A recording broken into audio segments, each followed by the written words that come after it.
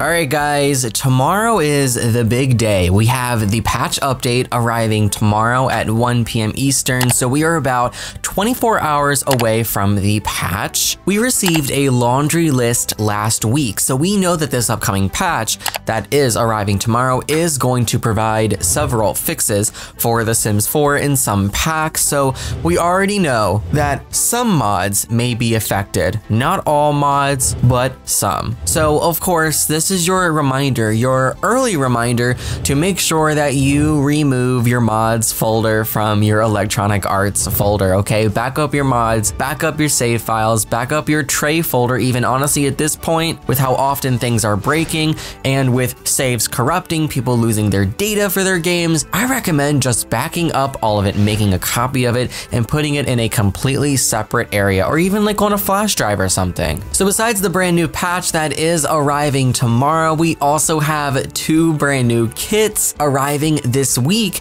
and I'm pretty sure after these two kits, this is going to conclude what was on our quarter one roadmap. Geez, I feel like it's been so long. I mean, it's only been like, what, three months? But I feel like it's been six months. Like, it's just been a while. We haven't really gotten much content. We didn't get any game packs for quarter one. We didn't even get any expansion packs. It's literally just been one stuff pack and a handful of kits kits and patches, one or two that severely broke the game, and it took us one big emergency hotfix update to kind of pull ourselves out from that, but there's nothing left on the original roadmap, so I think that the next roadmap is imminent. I'm honestly surprised these two kits did not come a little sooner. Earlier on in April, I would have thought that by now we would have already gotten the second roadmap leading into summer, but I can say say that since we didn't get any game packs, we didn't get any expansion packs for quarter one,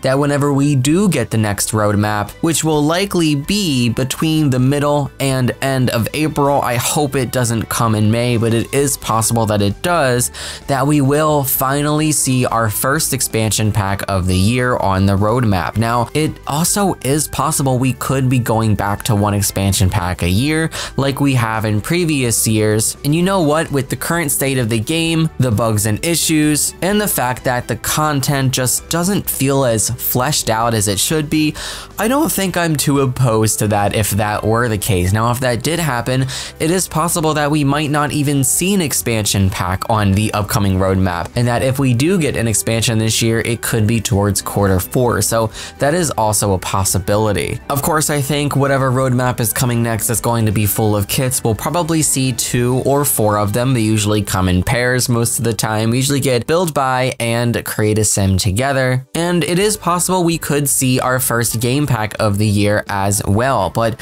it has been a while since we received a game pack, so I wouldn't hold your breath on that one. So we have two brand new kits coming in three days on Thursday, April 18th. We have the Urban Homage kit. This one is a collaboration with Ebonix. Personally, I think it's cute and I like collaborations. I like seeing more representation in the game in any form. I'm going to support that 100%, 100% of the time. Now, the other kit, on the other hand, Party Essentials. This is the one that's causing the most controversy online, especially over on Sims Twitter. I feel like most kits don't really have that many items, so I'm kind of not surprised at the lack of assets with this one.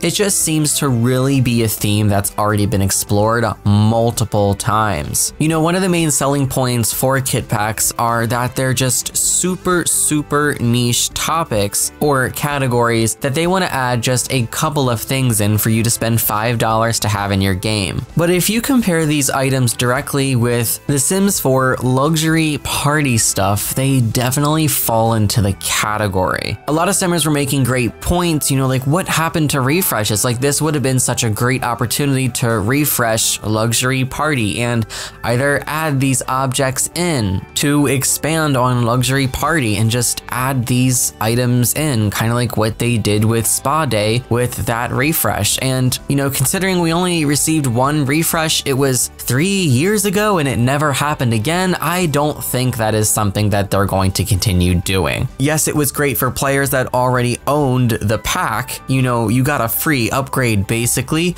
but I'm sure the sales of the pack itself itself did not go up enough to justify the amount of work and resources that they put into refreshing the pack. And I truly believe that's why we will not see any more refreshes.